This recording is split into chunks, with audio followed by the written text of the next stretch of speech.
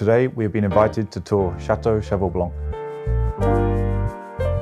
Cheval Blanc was awarded the highest appellation quality ranking of Saint-Emilion Grand Cru Classé in 1954.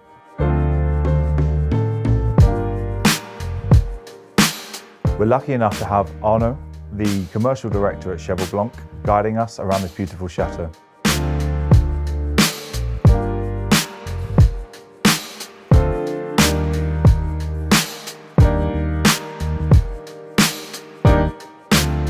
So what are your predictions for the 2022 vintage?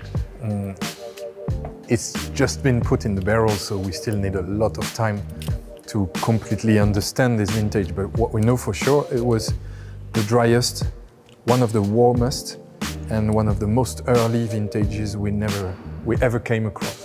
In the, even in the archives of Cheval Blanc, we never picked the Merlot in the month of August. In 2022, not only did we start on August, but we picked half of our Merlot within the month of August. The particularity of 2022 is that it was dry since the winter, as opposed to, for example, 2003, which was dry and hot, but with a rainy and, and, and mild uh, spring. So the vines in 2003 started to grow, grow their leaves vigorously, and then, boom, they take a big hit of drought and, and sunshine, as opposed to 2022, where the vines never had any water.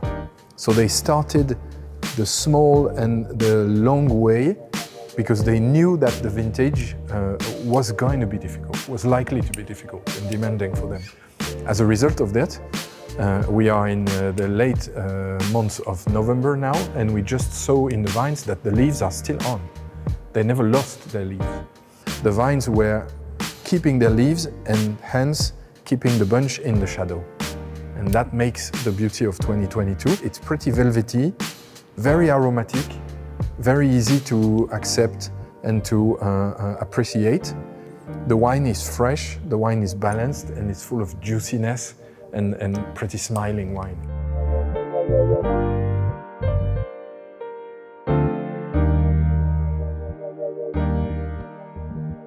I propose that we taste two very different vintages, 2016 and 2011.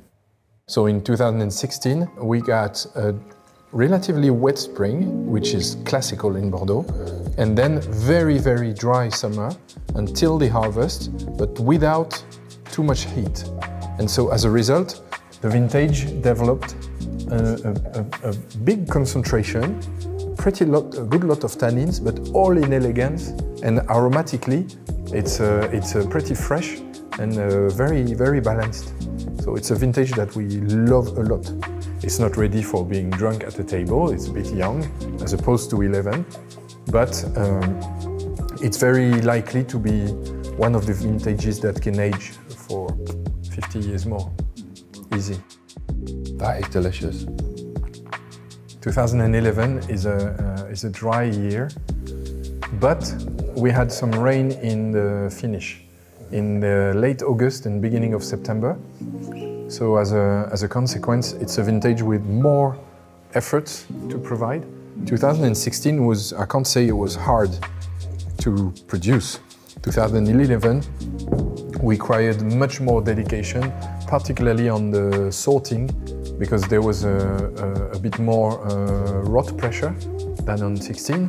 But let's not forget that if you have the means and the tools and the people and the know-how to sort such a vintage, it only has an influence on the quantity you produce and not on the taste, because no single rotten berry enters any vat. It's out.